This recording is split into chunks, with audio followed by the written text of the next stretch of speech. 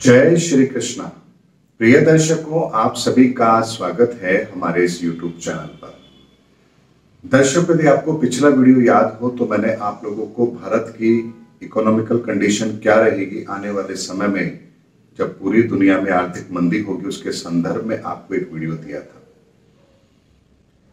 उसी तथ्य को जब मैं एनालिसिस कर रहा था तो उसमें कुछ और तथ्य भी मेरे सामने आए हैं, जिसको मैं आज इस वीडियो के माध्यम से आप लोगों के सामने रख रहा हूँ।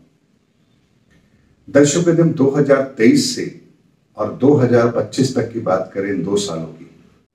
तो ब्रह्मांड में ग्रहों की स्थिति बिल्कुल स्पष्ट है। कहीं कोई उसमें किसी को संदेह नहीं होना चाहिए कि यह परिस्थिति बनेगी तो उसका क्या इंपैक्ट इस धरती पर होगा? और उसका पहले से ही प्रभाव हमें कई बार ग्रह दे भी चुके हैं। 2020 में भी वैसी ही परिस्थिति बनी, हमने संसार को किन परिस्थितियों में देखा हमें याद है? 2021 में भी बनी, हमें याद है। 2025 में भी बनेगी तो हमें 2020 और 2021 याद ज़रूर आएगा। लेकिन उससे पहले 2024 में भी परिस्थितियाँ विकट बनेंगी और 2023 में परिस्थितियाँ हमारे सामने हैं। इसलिए दर्शकों 2020 से लेकर 2025 अगर हम इन छह सालों की बात करें 2020, 2021, 2022, 2023, 2024 और 2025 यदि हम इन छह सालों की बात करें तो हर साल कुछ भयानक स्थितियाँ हम देख चुके हैं और आने वाले सालों में भी हम ज़रूर देखेंगे। इसीलिए 2023 के अंदर जहाँ प्राकृतिक आपदाएँ अपनी चरम सीमा पर रहेंगी उसके साथ ही गुरु चांडाल योग का निर्माण भी होगा। हमारी मति भ्रम भी होगा। यानी आप देख भी रहे हैं कि इस समय पर जैसा राहुल गांधी जी के साथ हुआ है, उसको लेकर के कांग्रेस का जिस तरह से रवैया है, वो सबके सामने है। यानी किसी मुद्दे को राजनीतिक रंग दिया जा रहा है, जबकि कोई भी अगर थोड़ा सा भी कानून का ज्ञान रखता है तो उन्हें पता है कि वो सुप्रीम कोर्ट जाएँगे, उन्हें स्टे मिलेगा, उनकी सदस्यता बहाल हो जाएगी। लेकिन जानबूझ करके सुप्रीम कोर्ट जाने में डिले और इसको राजनीतिक रंग देने की कोशिश, ये सब गुरु चांडाल योग के प्रभाव के कारण से ही होता है जब व्यक्ति अनावश्यक किसी ऐसी चीज़ को तूल देने की कोशिश करता है जो आगे जाकर के उनको लगेगा कि हमसे गलती तो हुई है। और ऐसा ही कुछ इस मामले में भी ज़रूर होगा। अभी ये बहुत छोटी सी घटनाएँ हैं जो आप देख रहे हैं। मैं आपको बहुत पहले ही कह चुका हूँ कि ऐसी बहुत बड़ी बड़ी घटनाएँ अभी होना बाकी हैं। जब आप शीर्ष पदों पर बैठे हुए व्यक्तियों को बड़े बड़े अहदों पर, बड़े बड़े ऐसे निर्णयों को लेने की क्षमता जिन लोगों के पास है, उन लोगों को आप कुछ आप ऐसा करते हुए देखेंगे कि आपको लगेगा कि इनकी मति कहाँ चली गई है। ये सब गुरु चांडाल योग के प्रभाव से होगा। और इसी घटनाक्रम के अंदर कुछ निर्णय विश्व के अंदर ऐसे भी होंगे जो आने वाले समय के अंदर हमें बड़ा नुकसान भी देंगे। आपने देखा होगा, इंटरनेशनल कोर्ट ने पुतिन के गिरफ्तारी वारंट जारी किए हैं। यानी एक ऐसी कोर्ट ने ऐसे राष्ट्राध्यक्ष के खिलाफ गिरफ्तारी वारंट जारी किए हैं जो उसकी परिधि में ही नहीं आते हैं, उनके अधिकार क्षेत्र में ही नहीं आते हैं।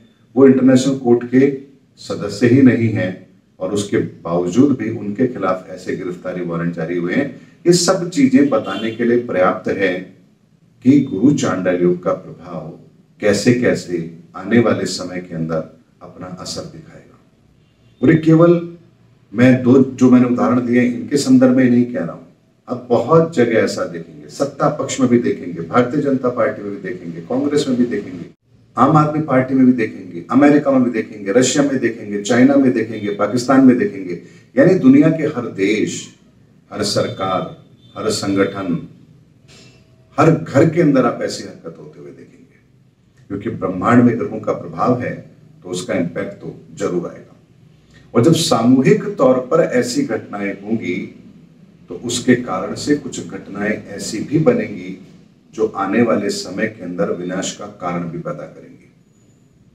अब इसके साथ ही अप्रैल 2024 के अंदर फिर अंगारक योग बनेगा, यानी कि इस गुरु चांडाल योग के अंदर जो हरकतें होंगी, जो बीज बोए जाएँगे, उनका विष का फल, या यूँ कह लीजिए कि उस पेड़ से जो विष रूपी फल आएँगे, वो आप अंगारक योग में देखेंगे, अर्थात अप्रैल 2024 के बाद उस चीज़ को देखेंगे।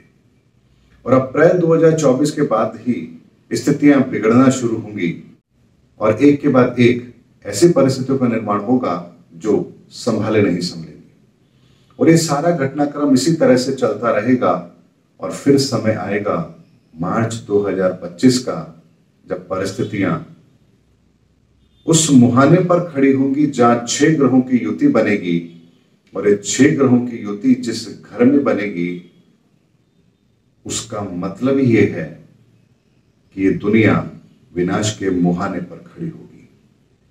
दर्शकों सारी घटना जो 2020 से 2025 तक की मैं आप लोगों के सामने रख रहा हूँ, ये बताने के लिए पर्याप्त है कि ग्रह पहले अपना असर दिखा चुके हैं। इसीलिए किसी तरह का कोई संदेह नहीं होना चाहिए कि आने वाले समय के अंदर वो ग्रह हमें क्या परिस्थिति दिखाएँगे। कहते हैं कि पूत के पग पालने में दिख जाते हैं। जो ग्रहों की युति 2020 से हमें दिखा रही है, जो परिणाम दे रही है 2025 तक ये लगातार हर साल जारी रहेंगे। और जैसे जैसे घटनाक्रम बदलेगा, हमारे सामने नई परिस्थितियाँ भी आएँगी जिसका आकलन मैंने आपको दिया है। यानी 2020 के अंदर प्राकृतिक तौर पर हम मजबूर हुए परिणामों को स्वीकार करने के लिए 2021 के अंदर हमने अपने परिजनों को खोया 2022 में हमने राजनीतिक उथल फुथल देखी 2023 में हम आर्थिक मंदी देखेंगे 2024 के अंदर घटनाओं को इस तरह से बदलता हुआ देखेंगे कि हमारे सामने कोई विकल्प नहीं होगा और हम प्रकृति के सामने घुटने टेकने पर मजबूर होंगे। तन, मन, धन तीनों से हम बहुत ही कमज़ोर हो चुके होंगे। और 2025 में हमारे पास केवल एक ही विकल्प रहेगा, और वो रहेगा महायुद्ध का। इसलिए दर्शकों 2020 की पटकथा 2025 की तरफ़ बढ़ रही है, और हम मिड में खड़े हैं, और जब पीछे मुड़कर देखते हैं, और फिर आगे देखते हैं तो सारी घटनाएँ एक के बाद एक हमारे आँखों के सामने जीवंत हो उठती है। इसीलिए वीडियो के माध्यम से मैंने आपको 2020 से 2025 का एक व्यापक रूपरेखा मैंने आप लोग के सामने रखी है कि क्या होने वाला है, कैसे होने वाला है। और उसके कुछ निशान भी मैंने आप लोग के सामने रखे हैं कि किस तरह की घटनाएँ हो रही हैं और लोग उसको किस तरह से ले रहे हैं, किस तरह से उसका अनुसरण कर रहे हैं। राजनीति करना गलत नहीं है, लेकिन गलत समय पर गलत राजनीति होती है और सही समय पर सही राजनीति होती है। यही कारण है कि कई बार हमारे उठाए हुए कई कदम हमें बड़े और अच्छे रिज़ल्ट देते हैं तो कई बार हमारे उठाए हुए कदम हमें परिणामों से वंचित करते हैं। दर्शकों, उम्मीद करता हूँ इस वीडियो के अंदर मैंने आप लोगों की बहुत बड़ी जिज्ञासा को शांत करने का प्रयास किया है कि 2025 तक क्या होगा, कैसे होगा, कब होगा, और इन सब घटनाओं को आप भविष्य में सत्य होता हुआ पाएँगे। इसका एक एक अक्षर आप भविष्य में सत्य होता हुआ पाएँगे, क्योंकि ये मेरा विशुद्ध ज्योतिषीय आकलन है। इसमें मैंने अपनी किसी भी भावनाओं को शामिल बिल्कुल भी नहीं किया है।